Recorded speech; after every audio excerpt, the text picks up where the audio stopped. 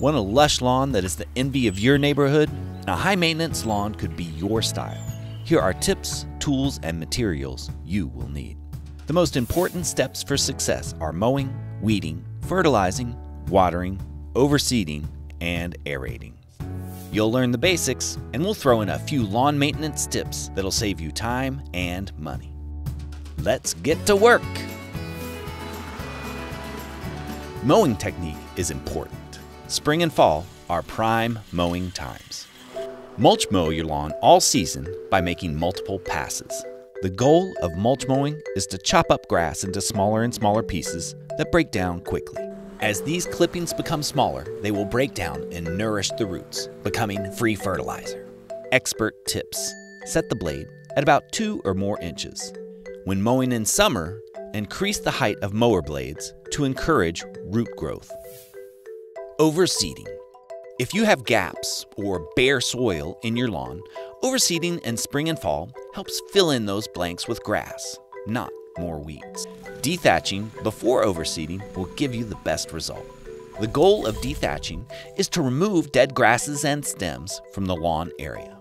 After overseeding, cover the entire area with 1 quarter inch deep compost. It helps keep the seed in place and to retain water.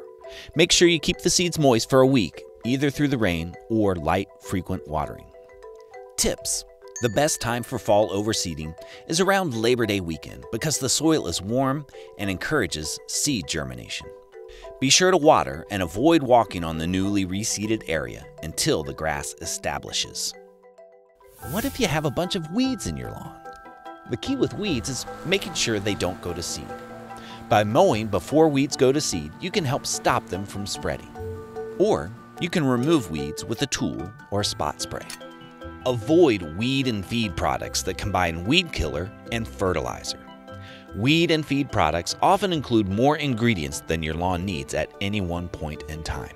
The best time to apply fertilizer is not always the best time to apply herbicide.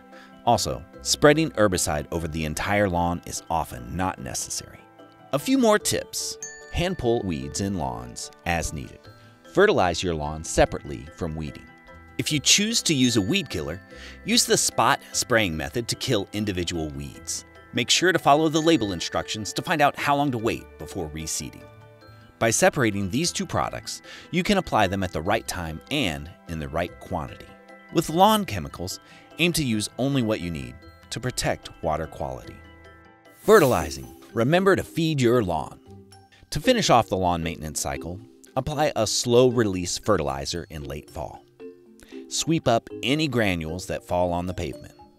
A late season fertilizer application is the most effective because it jumpstarts your grass for next season. A few more useful tips. An additional application of fertilizer in spring can be added around Memorial Day to increase your lawn's health. Mulch mowing adds about the equivalent of one fertilizer application through the course of a year. And now to a key ingredient, H2O. To have a lush lawn in the summer, watering will be needed. A good basic rule is to make sure it gets 1 to 1.5 inches of water per week. Another tip keep in mind that watering during the morning or evening helps conserve water.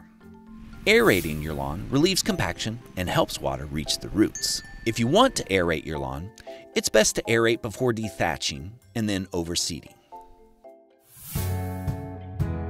Just remember, there are four lawn care practices you should follow for a high maintenance lawn.